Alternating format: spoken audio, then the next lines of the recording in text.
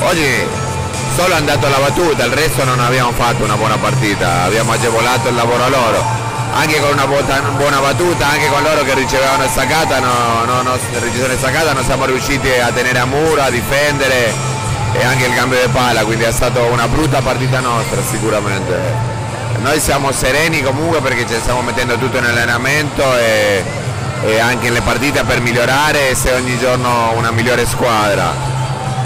certe volte non riusciamo non va come vogliamo, quindi ci alleneremo di più, ci, ci, ci sforzeremo di più per fare meglio.